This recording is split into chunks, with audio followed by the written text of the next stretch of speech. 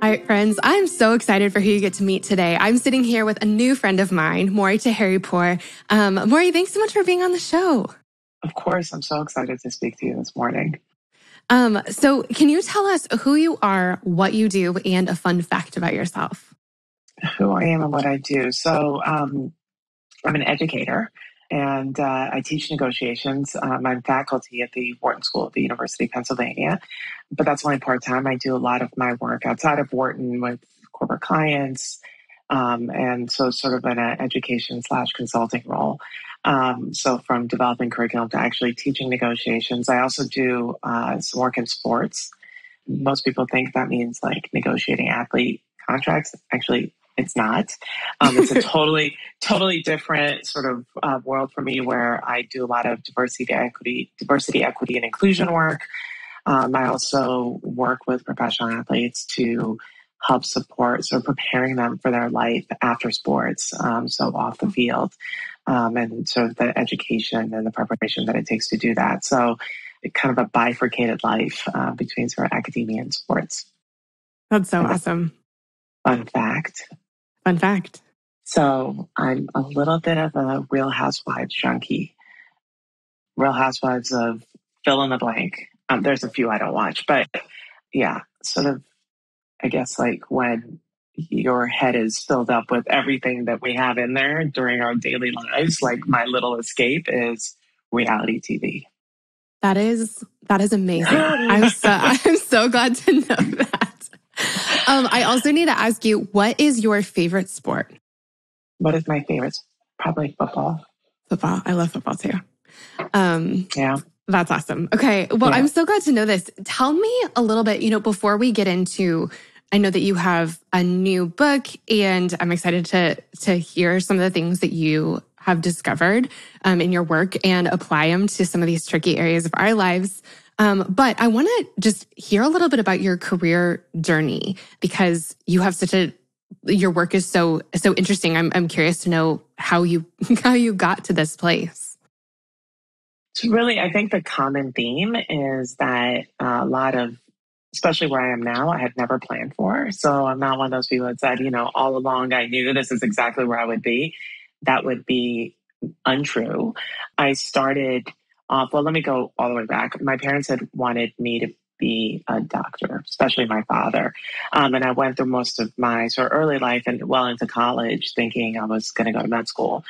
And then I think the realization occurred to me that I was living out somebody else's dream instead of my own. And wasn't frankly either enjoying the, the especially the, the curriculum, um, much less sort of this notion of kind of being very um, on a on a micro level, changing lives, which is what I think about sort of physicians, and I think it's really important. But there wasn't, I, I didn't have a passion around that. I always, I am one of those. This is sort of cliche, but I did want to have an impact on people's lives. I did want to change lives, but that wasn't sort of the role for me. And so it took me uh, well after college and two MCATs later to realize that that's not what I wanted to do. I know exactly. I was like, couldn't I have realized that a little bit earlier? But I went into public health um, initially, and I actually loved it. I did a lot of um, social marketing, uh, cause marketing, prevention education work, and um, in support of things like HIV/AIDS education, working with pregnant women.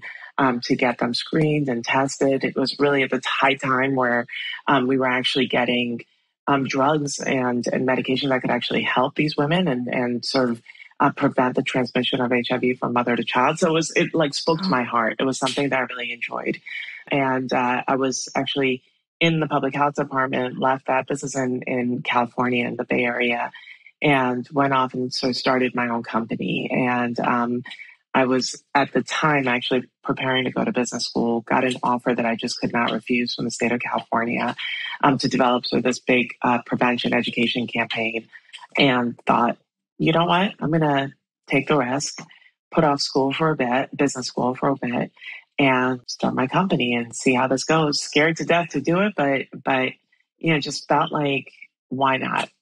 And, um, and I did that for about a decade of my life. Um, and, uh, it was a, learned a lot for better or for worse. And I'll talk about that probably a little bit later. But in the midst of all that, when I had started my company, because I put off business school, I'd always said, but I do want to go back. Um, and I do want to get sort of a, a, sort of graduate degree. And I loved the notion of going to business school because I thought it was going to be so applicable to so many different parts of my life. And I did. I went to um, the Wharton School to get my MBA. And um, as I was graduating, um, I was sort of asked to teach by my professor, who was a negotiations professor. He became a, my mentor, was a, became a very dear friend. And I thought he was crazy because I was, I am an introvert. Um, and at the time, I was like fearful of standing in front of a room of five, much less a classroom of 40 to teach. And I thought, I have no idea why you think this is the career for me because I, I, I can't even imagine myself doing something like this. That was almost 18 years ago. Um, and uh, sort of found my my way, I guess, um, into a career that I'm incredibly passionate about. That was the executive summary, I know, but um, incredibly passionate about. And you know, you sort of realize one way or another that that you are truly working and living and walking in your purpose, um, and that's what education has become to me. And that's what teaching the subject that I'm so in love with, um, negotiations, has become to me. And I guess it's full circle because while I had always thought I wanted to do something that changed lives, I didn't know that this was going to be the medium through which I would do it. And it's become exactly that. So uh, the journey has been not a straight line whatsoever. But I guess the ultimate sort of goal of what drew me professionally to do something that had impact um, is where I landed, unbeknownst to myself that this would be the where where that sort of landing spot would be. I love that, and I think that that's so encouraging because you know, especially when we're starting out in our careers, there's this idea that you need to have a, a like etched in stone 10 year plan. And if we don't have that, if we don't know what we're passionate about, or we we walk down a road and go, okay, this actually isn't it, we feel like we've failed. And I, I mean, your story is just a perfect example of it's taking different risks. It's walking forward until the path changes or until you realize like this path isn't going in the direction that you want it to. And it's finding kind of a cut across and finding something different. But I feel like all those experiences build on each other. Mm-hmm. And even if they're not like, ex- even if it's not directly, like even if you're right. not just working your way up in one exact company, it's, you know, the things that you learned in preparing for, you know, the MCATs, like probably had a lot to do with you know, preparing you right. for uh, business school and. Yeah, I mean, it's no, you're so right, and I think, especially these past few years, I think with with the pandemic, I think have really highlighted the fact that you know I always say you know we make plans and God laughs. I mean, we mm-hmm. you know to think that everything is going to be exactly as you think it's going to be is quite frankly silly because we just don't know. Mm-hmm. And mm-hmm. I think so long as you are open to opportunities and and really i mean this whole notion of i know it's, it's sort of a lot of people talk about these this, these days about knowing your purpose and living for a purpose and finding your calling and whatever that may be you know that's not you, you your your purpose can't be finding your purpose is what i'm saying and so like this mm-hmm. you just have to almost live life and experience it and know what you don't like as much as what you really do like. And wherever that takes you, I think so long as you're present in your life um, and you allow yourself to understand what truly brings you joy and happiness and fulfillment, that may take 10 years, 20 years, 30 years, whatever it is. But then the destination feels really good so long as you're so open to the journey and the experiences.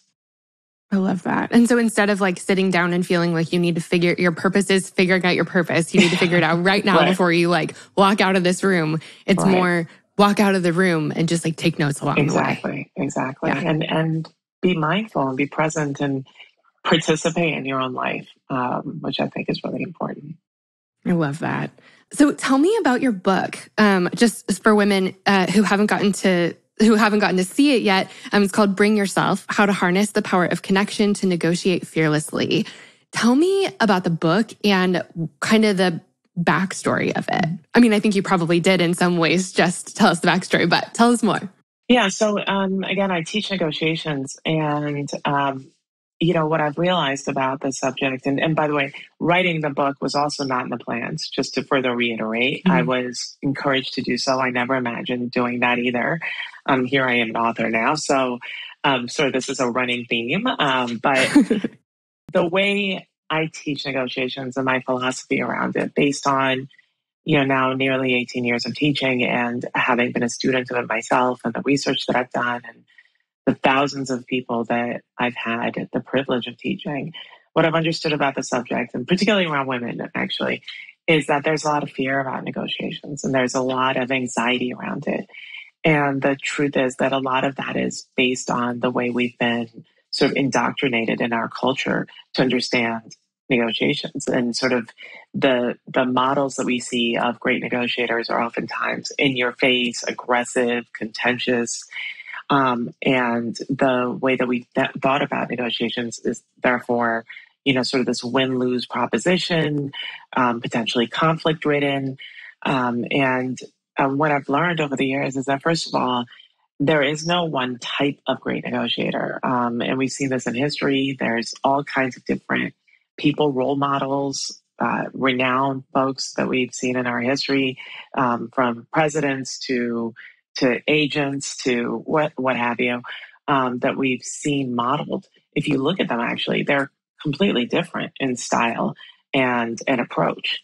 And so that tells us that this is not a skill, first of all, that we're born with, but it's one that we learn. And that the more practice you have, the better you are at it because it's not formulaic. And unlike a lot of books that have been written out there that really sort of dictate a formula, you know, like say this, do this, and oh my God, it's magic. You have a great outcome. It just doesn't work that way. Everybody is different. Every conversation is different. Every approach is different, quite frankly. And so when I sort of looked at all these different things, these messages that we were getting, I realized that of course people are going to have great hesitation around negotiations. Of course there's going to be fear because if you're told that you should only be a certain way to be good at something, then your entire sort of being always wants to be that person as opposed to being told, no, you can be exactly who you are, be your authentic self, and find your way because this is a practical skill. This is, to me, negotiations is sort of like the soundtrack of our lives. It's something that we do from the moment we open our eyes in the morning to the time we go to sleep at night. Um, we negotiate with ourselves, we negotiate with our alarm clock, we negotiate with our pets, our kids, our parents. And of course, yes, we negotiate at work you know, so on the business side of things, but it's a skill that really is embedded in everything that we do. So when I realize that this is one, the message that I sort of give to my students in class, and I see them flourish as a result. I see them leaning into these negotiations with incredible sort of sense of empowerment because what I'm telling them is be exactly who you are and let's find the skills that will benefit you and the strategy that will will benefit you or complement your you, you as who you are and your set of values and your convictions. And when I tell them that, that's immediately empowering, right? So it starts taking away that fear and anxiety. But then the notion of also, first, let's figure out who you actually are. And let's figure out and give attention to what your value systems are. What are the things that are most important to you? What is your North Star? And so once you sort of settle into that, then you now understand, you know what? It wasn't that I didn't have the skills to negotiate well. It was that I was really getting into my own, eh, getting in my own way. It was the imposter syndrome, the lack of understanding of what your value is and your worthiness. And that's where once you figure those things out, once you deal with some of those challenges that we all have, then you can now feel more empowered and more encouraged and have a sense of purpose. And so these conversations are not meant to be scary. Negotiations are meant to be an opportunity for you to speak your voice and speak your purpose and and you know come to the table and understand that you matter, you have a place and that that really what you have to learn to do is just be able to honor yourself. Um, and so my book was meant to do that. My book was meant to say, don't try to be somebody else. Be your best self and really learn to speak your voice. Um, and and don't let life pass you by because you know every moment is the right moment. Um, So that was that, and hence the title "Bring Yourself." So it's not, by the way, written as a textbook because I oftentimes think people are like, "Oh God, another textbook." It's actually much like an autobiography. It's all about stories. Um, so. Yeah, that was that was really the the purpose behind it was to to create a sense of empowerment for people. I love that. Tell me, so you know, you kind of mentioned this with negotiations happening throughout our day. I think that there are probably some women listening who can't picture totally what that looks like, like how, what negotiations are playing out in their lives every day. And also, I want to know so I'm, I'm wondering if you can like dive into some examples and then also show us like why. What happens if we don't know how to negotiate? Like in our everyday lives, what do we miss out on by not being able to, by not having this skill? So, let me start with this notion of what does negotiations look like because everybody knows how to negotiate right whether you know it or not that you're negotiating you're actually negotiating right so if you think about negotiations as just being important conversations if you think about negotiations being problem solving um, then even when you make a pros and cons list that's a negotiations right um, the should i should i not right you stand in your closet and you have an interview and you're trying to figure out what to wear that's a negotiations. You're doing that with yourself, right? You merge onto traffic in a highway. I mean, coming even to like that, that like the simplest of notions is that as you're trying to merge into traffic, you're trying to figure out where your place is, and that's problem solving, and that's a negotiations, right? So to think that that particularly women, mothers, daughters, you know, that we don't know how to negotiate is just silly. I think that we're we're some of the best negotiators out there because there isn't even you know that's that's like a world of practice that we have every single day that we're not accounting for right and we mm-hmm. do mm. it so well we have empathy we have natural problem solving skills we have a sense of values and ethics that are really important negotiations we think with relationships in mind which makes for great negotiation eh, negotiators right that's this notion of this is not a transaction, but it's about relationships. That's how we are built. That's quite frankly how we operate as women. So, you know, I, I think the immediate answer to your question is first of all, you are great negotiators. You do this all the time. Take account of that, right? Take responsibility for all that you do so well. Those are negotiations. Now. Are there difficult negotiations? Are there difficult conversations? Absolutely. That's what life is all about, right? Are there challenges? You know, let's say breakups, marriage, right? Relationships that that present some kind of uh, uh, difficult moment to us that we have to navigate. That's life, right? Yeah. But we have so much preparation and training for it, is what I'm saying. That that oftentimes once we actually think about all the ways that we do this already so well and we apply those same skills, which include, again, critical thinking, being able to have a quiet moment to think these things through, um, being able to understand what's most important to you, being under and thus understanding your non-negotiables. I mean, these are things that that we as women do every day. So, so know that. And then the second part of that is that what you miss when you can't tell yourself that is that you then feel like, um, first of all, we don't identify uh, moments that we actually can negotiate because we feel like we have to wait for some something that tells us this is negotiable, right? Like the smoke signal that says you can now negotiate this. Whereas, you know, studies show us that men actually believe that everything is negotiable. So they come to the table all the time. They create that space for themselves. Well, if we wait for somebody to tell us that something is negotiable, let's say compensation or salary structures, right? Then, and that message never comes through, then you miss that opportunity, right? You don't create the opportunity yourself.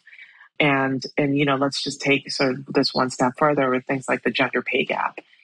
It's not that women can't negotiate. That's been proven wrong time and time again in, in research. It's that when you miss the moment to negotiate and you miss that opportunity and that passes you by, then you have now actually missed the opportunity to get that salary bump, right? Get that salary increase. And it doesn't stop there because then that happens over and over and over again. So then you're seeing now a compounding effect. You know, it sort of builds like interest, right? Only mm-hmm. against you. Yes. And so that creates the bigger and bigger and bigger pay gap that we see. So I think, you know, there's there's a lot of I believe that there's a lot of moments in life that are presented to us that if we don't actually take the opportunity and lean into them, then when those moments pass by, the regret associated with what the what ifs is a whole lot deeper and it cuts cuts a lot deeper than thinking, you know what, I did, it didn't work out the way I wanted it to, but at least now I know that I had. You know what I mean? And and I think that that's the, the biggest regrets come from not not engaging as opposed to engaging and it doesn't work out the way we wanted it to. Yeah. Yeah. Um that has so so negotiation is really just you have an obstacle and it usually has to do with another person or a group, you know, a usually usually has to do with people. Like you want something and it's a matter of talking to other people in order to get it. I would say this. I would say yes, it's obstacles, yes, it's problem solving maybe. But sometimes it's just conversations. And I would actually say that the majority of the negotiations, for example, that I do are with myself, quite frankly. Any kind of decision making, any kind of sort of working yourself through a problem, uh, a big decision you have to make, even a small decision that you have to make, um, those are all negotiations, right? And and we just don't give ourselves credit for that. Think about all the different moments in your life that you've had to make a decision and what you've done to actually get to the point where that decision can be made, that's a negotiations, right? So again, I think it's just taking inventory of that, right? And understanding that that's precisely what you're doing and that therefore we do it so well. Yeah. So, you know, we talk about relationships a lot here in our corner of the internet. Um, and when I first came across your book, I immediately began to, to wonder about how the things that you talk about in the book and the things that you teach your students could help us in our relationships. And I'm specifically thinking about really three really vulnerable areas of our life where we have to put ourselves out there and ask for what we want in order to be successful, where we have really hard conversations or just conversations in general.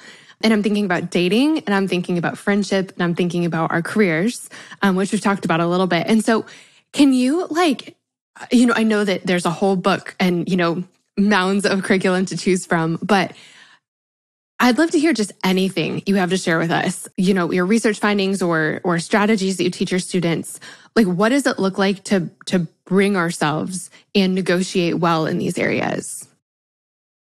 I think a common theme, especially like let's say in dating, marriage, friendships, right? I think um, the successful ones, right? The successful friendships, the successful relationships are really about compromise and the give and take right? And that being a shared practice as opposed to one person always giving and somebody always taking, right? So, you know, where you build trust, where you come together to understand the things that are most important to you and the things that are most important to your partner um, or friend or, you know, fill in the blank, then at that point, if you then say, you know what, the way we're going to do this to find happiness, to find joy, to find satisfaction in this relationship is that we both, first of all, understand what those things are that are most important to both of us, right? Either one of us at any moment.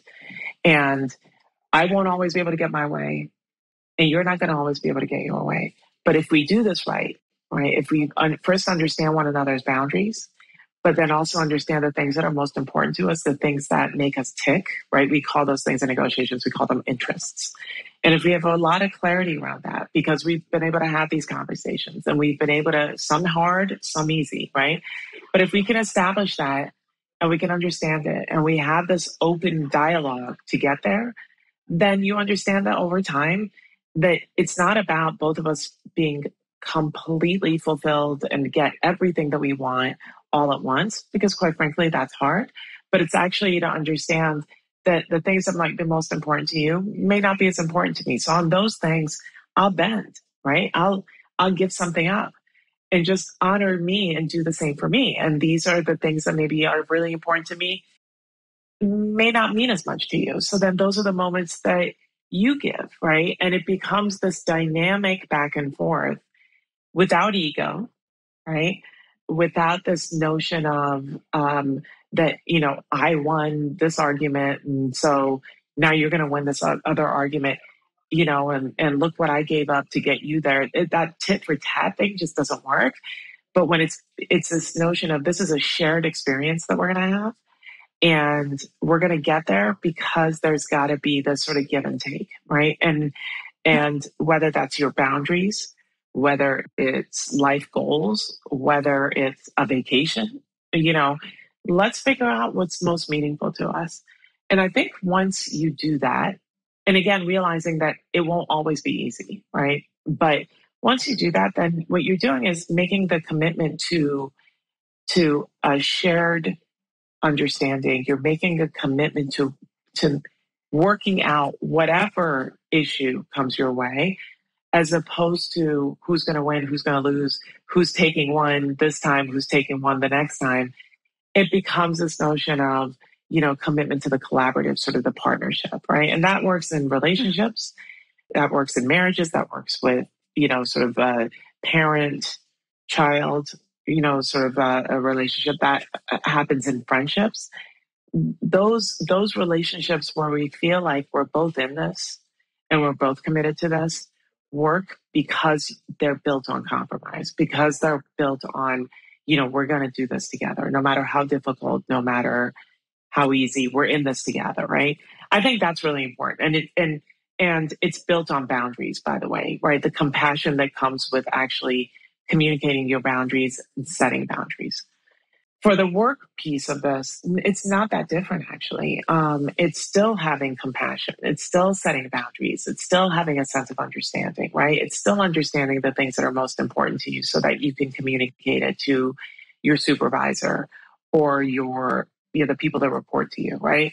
It's still the sense of let's commit to understanding as opposed to you know, again, who's going to win, who's going to lose, who's, you know, you're taking, you're completely taking the ego out of it um, and you're seeking a better understanding of yourself and you're also being able to communicate all that's important to you so that other people can understand it. This again becomes this sort of shared experience. So i think it becomes all about boundary setting uh, and really communicating those things with with this goal of working through whatever comes your way because nothing is insurmountable yeah I love that. And that's, you know, that's something that has been just this recurring theme in in my life for the last couple years and, and something that we've talked about a lot here on the show. Um, but I can think of like about a thousand examples of how that's been helpful to know what's important to me and to know what's important to the other person in the conversation so that we can, because a lot of times I feel like, you know, when we get into conflict, it's over things that actually nobody cares about. And so those things don't need to be, don't need to be conflicts. This is right. just a tiny random example, but I have a 20 month old twin little girls. Um, and they have bath toys that they love. And the other day, the, the bathroom's upstairs. We were going to play downstairs and they wanted to bring the bath toys downstairs. And I said, let me have the bath toys. We're going to leave them up here. And I asked, you know, a couple times because they're toddlers and it's kind of hard to get things out of their hands. Mm-hmm. And finally I was like, okay, well, we're going to leave, you know, the, the cow up here. And so I took it for my daughter Annie and she just made the saddest little whimper and just started to cry and not like a mad, frustrated toddler cry, but just like a really genuinely sad cry. And I had to think, like, I mean, I, I thought through this pretty quickly because I feel like this has sort of been my MO for the last 20 months is trying to decide what do I care about and then what do I not care about. And really quickly, I was able to like think through, okay, I don't care if this bath toy goes downstairs. It's not wet. It's not moldy. I truly right. don't care. So, okay, let me get it for you. Like, he, here you go. This is going to make you way happier than it is going to inconvenience. You know, this is not, right. this is not a boundary for me. I don't care. Right, right. And I feel like that, that process has brought so much freedom for me, uh, just as a brand new mom, um, but also in so many other areas of life, figuring out what actually is important to you so that you know what you really like. This is not a battle I need to fight. I truly don't care. Well, and it's interesting you say that. You said this is sort of a random example, but it's actually it's actually a really good example, right? Because I mean, probably too young to be able to communicate it to you then. But let's just take this further out, right? And and sort of that parent child relationship um, a lot of times we do create these rules, right? And um, and then if let's say your child doesn't abide by them, right? Then there's the punishment for that. As opposed to allowing them to understand why that particular rule is important, right? Your why, right? And then to understand why it is that they don't want to do X, Y, and Z, or why this toy, for example, is so important to bring down, right?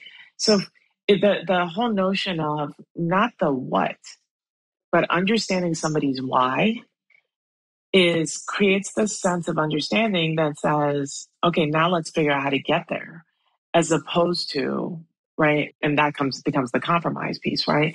As opposed to being so dead set in your what, right? That then, like you said, you sit back and you're like, I don't even know why that was so important in the first place, okay. right? Like, yeah, who cares, right? Like, yeah, and and so your why is actually to see her happiness, to not see that sad face, right? That why is the mm-hmm. joy you want to see in your child, and so then the other stuff becomes really unimportant. Um, mm-hmm. And I think that that's that's actually it, it seems really simple, but we spend so little time trying to figure out one another's interests or our whys that we can't get past all these like silly sort of the, the rules that we set up or the things that are meaningless to us in the grand scheme of things, right? So it takes commitment to conversation and curiosity.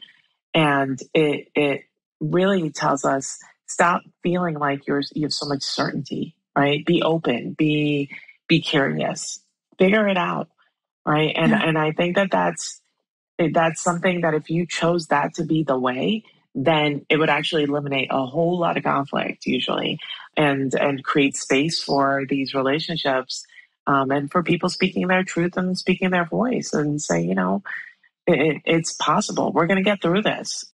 Yeah, we don't do that very much. Whether it's yeah. our ego or sense of ownership or pride or whatever it is, I don't know. But but we do oftentimes uh, get on and get definitely in our own way and don't even know we're doing it quite frankly. Yeah yeah. So i want to ask you you know something that you talk about is it's important to approach a negotiation with valued uh, with value in oneself. Like if we can do that if we can come knowing our own value that helps us get to desired outcomes. And you know you mentioned this kind of at the beginning but for a lot of us, we want to be confident in ourselves as we're applying for a job or going on a date or, you know, meeting a friend for the first time, but we're not totally sure what we bring to the table. And so how do we figure out like what we have to offer and then confidently hold on to those things as we're putting ourselves out there? That's like a lifelong challenge for a lot of people, right? That then that's sort of the the basis for imposter syndrome, quite frankly, and this notion of not knowing our self worth, not knowing, you know, what we deserve, why we deserve our sense of worthiness. And, you know, it's the answer is never easy because it's a, usually sort of our life experiences that account for something like that, right? The way you're raised, the way your parents have spoken to you, the you know, this notion of somebody telling you that, you know, dare to dream, you can be whatever you want to be, as opposed to somebody telling you that there are limits to what you can achieve, right? And so then that becomes this narrative um, that you tell yourself. And then that that self narrative, that self dialogue gets etched in your etched in your memory, etched, etched in your being, quite frankly. And it's really hard to move away from that. So, you know, the first step here is that, uh, to understand just that, to understand your value, your self worth, right? To change that inner dialogue and make it one of worthiness and deservedness. Um, and and and really understanding that, right, which could include sitting down and taking an account of all the things that you've accomplished, or even the top three things that you've accomplished in your life, and knowing that you know you should be so proud of that. You've worked so hard for that. You didn't accidentally stumble upon these things, that it took blood, sweat, tears to get there. And so once we get into sort of this habit of being able to speak those things and to truly understand them, and quite frankly, not be that humble around it, right? To really have a sense of pride and ownership around it, then that becomes your new narrative, right? And so when we can do that and when we understand our self worth and when we understand our value, then the goals that we set for ourselves are reflecting that, are reflecting the sense of, of I am worth so much more than this. And therefore, I can accomplish so much more than this. Um, and therefore, I want more for myself than this, right? We become more aspirational. We start thinking about all the possibilities that are out there. And when we do that and our goals are more aspirational, then the things that we ask for are more aspirational, right? Because now we know that we deserve more, that we want more. And then once you ask for more, then you naturally are going to get more, right? Mm-hmm. And that's sort of the, honestly, the research and negotiations and, and really in, in, things like positive psychology research and so many different areas of, of study that tell us that those people who actually believe that they should ask for more because they need more, they deserve more, they want more, then those people who set those aspirational goals are likely to get better outcomes than those people who don't see that for themselves. They ask for less and therefore they're going to get less, right? It seems really rational, but the reason why it doesn't happen starts at the very beginning, which is that self narrative and the inability to understand your worthiness. And, and, you know, that's the foundation we have to change and, and really create this new story for ourselves. Yeah. Yeah.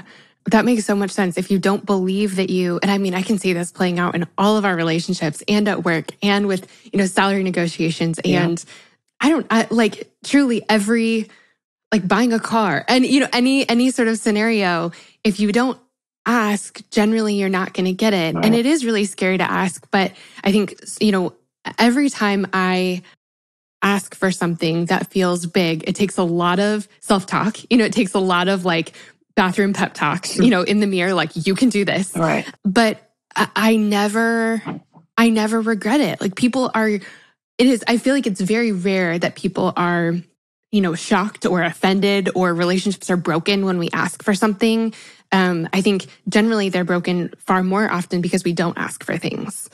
And, yeah. and you really, it's rare that you get what you don't ask for. Right. Because people don't know. No, people don't know. And the other thing is that, you know, you use the word fear.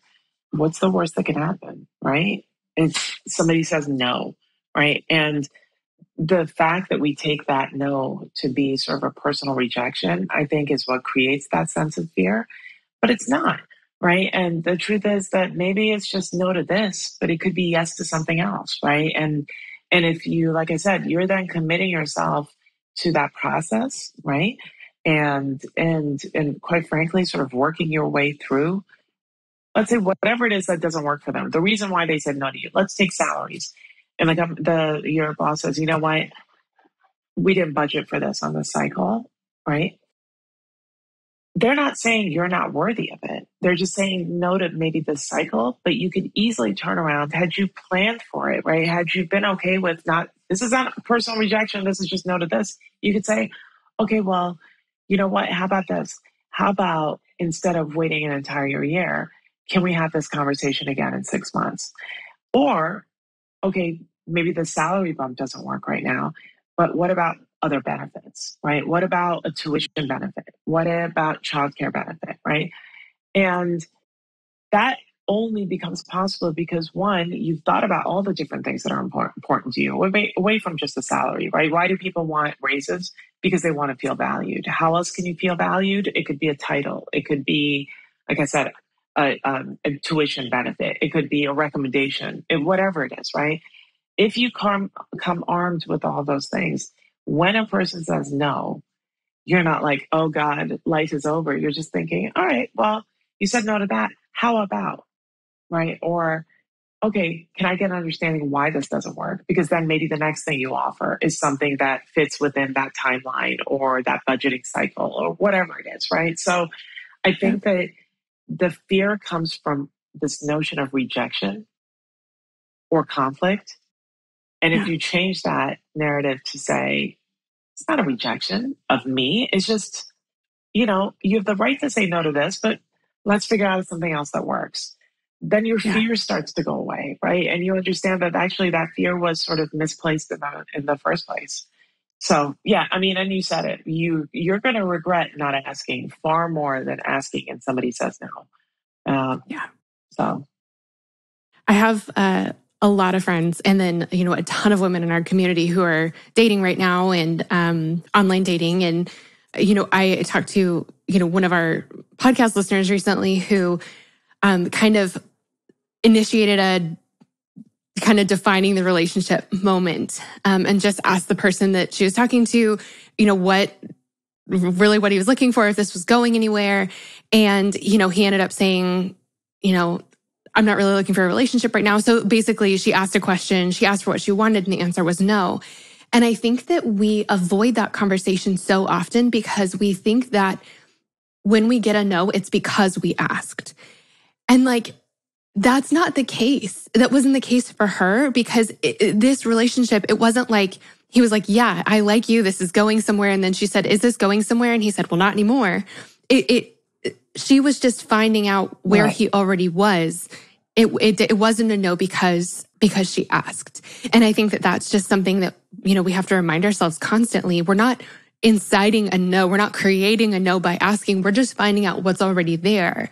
Um, and once we know what's already there, then we can work around it. And we can find out, okay, well, then I'm going to stop wasting my time with this right. person. You have choices. Uh, you have choices, or I'm going to ask for, you know, childcare benefit instead right. of a a raise because same thing, you know. Right. right. Either one would be great. Right. I, I love that. Yeah. And and by the way, if that person says no because you asked, that should should tell you something also, right? And yes.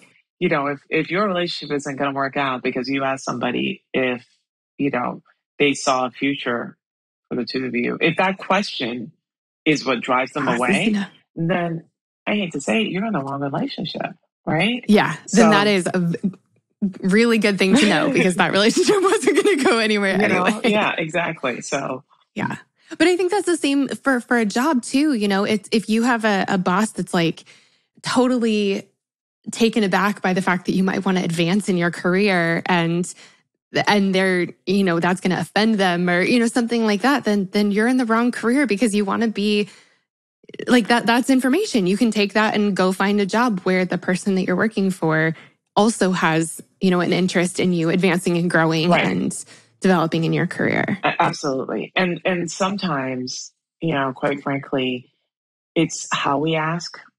Actually i should say not sometimes. It's always how we ask that actually matters um, not yeah. what we ask for right? So the way we frame the ask like the salary negotiations you never want to go into your the HR department or your boss's office and say, you know what, I I'm I want an increase in salary because I deserve it.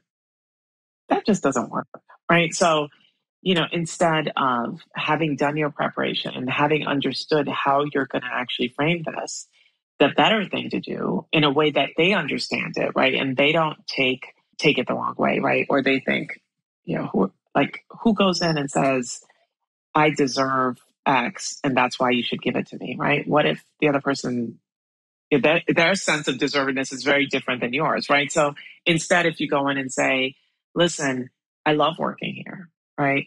But quite frankly, and let's take right now, this moment that in time that we're in, inflation is at eight and a half percent, right? Nine percent. So, you know, all of a sudden the salary that I've been getting is worth 9% less right? Because I can't afford all these other things, right? And so that's the quantitative measure. But then also, since the pandemic started, I've taken on four other roles, right? Because all these other people were laid off. Um, look at what I accomplished in X, Y, and Z project, right? I've delivered on these things. And I created this other sort of stream of revenue for the company that didn't exist because of this other initiative that I had started that I've been working on.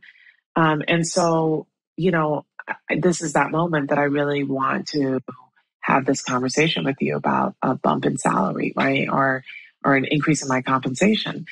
That's a very different ask, right? Because now you're telling them the why, you know, you're coming to them, you're explaining all the reasons that this is important now.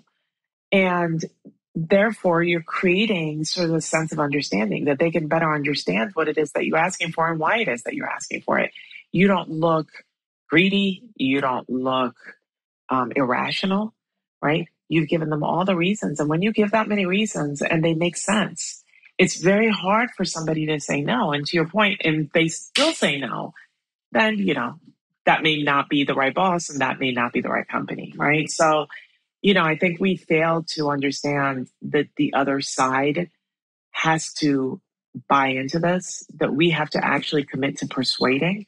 And the way you do that is that you bring data and information and you educate and you tell your story and you create you create this opportunity of understanding for them so that they can't say no. And if they do, then they have to give you an equally good reason for it. Um, and and and that's where the work is, right? It's not the courage to ask; it's the it's the courage to ask and then be able to support your ask with with the data and the information.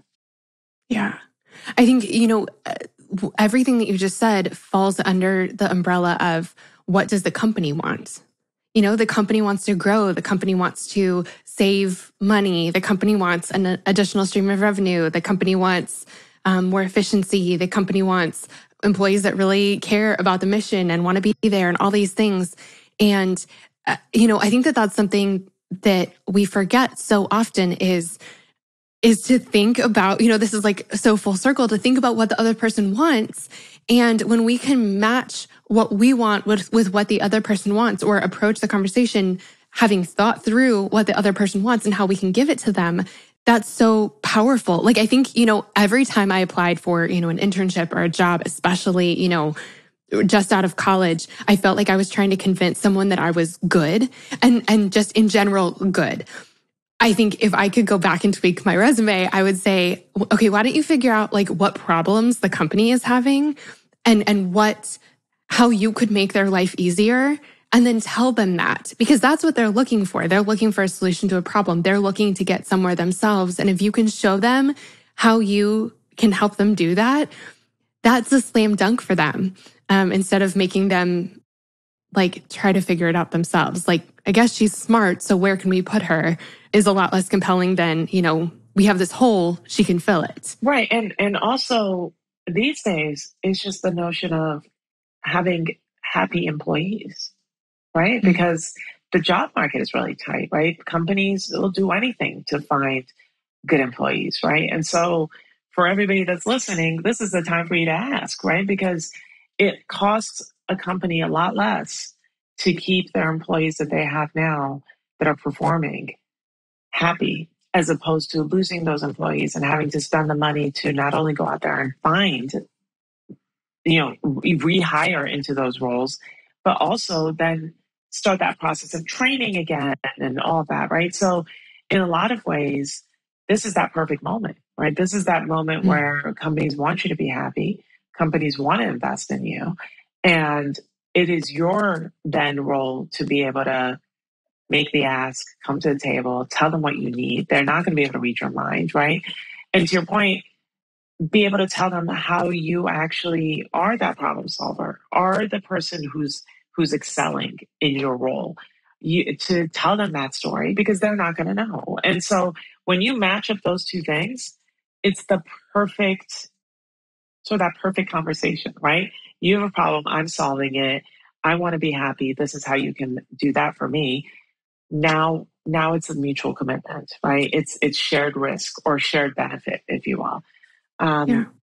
Like I, I tell people all the time, this, this is that moment. There is no fear. Like go in and do it. Tell your story. Tell them with great pride what you've accomplished, and tell them what you need to be happy.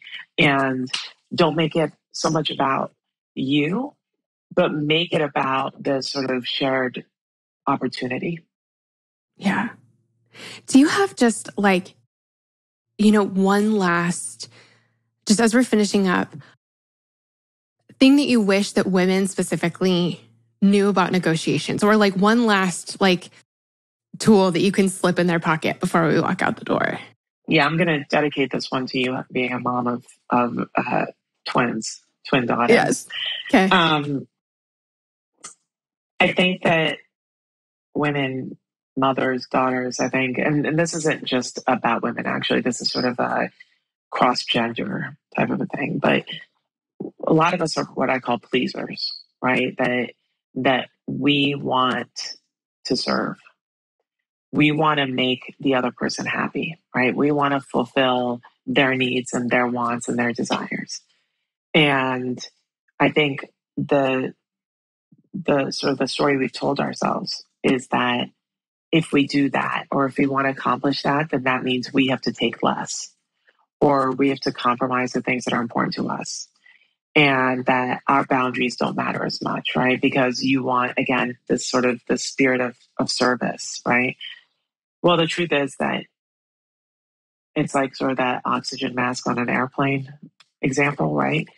That the only way that we can serve those we love the only way that we can find happiness in those relationships that's sustained long term is that we have to also take care of ourselves. And if you do one, it doesn't mean you can't do the other. I would actually argue that when we set boundaries, when we honor ourselves, when we have compassion for ourselves, then we are happier, right? We have more energy, um, and we have the wherewithal to better serve those people that we care about, right? And I think that if there's anything that I want people to understand, especially in negotiations, your happiness doesn't have to come at the risk of somebody else's or vice versa. That there's there's mutual benefit and mutual gain and mutual joy that we can get when we are able to approach these conversations that way, right? When we're able to set boundaries, because then that way you don't have resentment for the other person right? Because we're always blaming. I can't believe they want to take that much. I can't believe they asked for that much. Well, you've been giving it to them, right? What, what is it that you don't understand about that? People do not take from us what we don't give. This isn't about, this isn't theft, right? We give and we give and we give and we give. And soon we'll realize we're empty, that, that there's no more that we can give. And had you actually said, I can give. I want your happiness, but these are the things that I need. Then, like I said, we have more energy, we have a sense of purpose, we have a sense of joy. Um, and that makes for the sort of the perfect relationship. That makes for a happier mom. That makes for a happier daughter. That makes for a happier girlfriend. That makes for a happier employee. Your happiness does not have to come at the expense of somebody else's. Um, and and when we realize that, right, that that there's nothing greedy about self love and self care, then I think that everything changes, right? And um, I think that's probably my biggest message because I think that, that it's the, the story that we've told ourselves that's actually not true at all. I love that so much. Mori, thank you so much. Thanks for making the you're time. I know welcome. that you're on vacation, and so I want to send you off and go enjoy it. But seriously, thank you. Thank you. Of course, of course. Thank you so much for taking the time. This was a lot of fun. This was fun.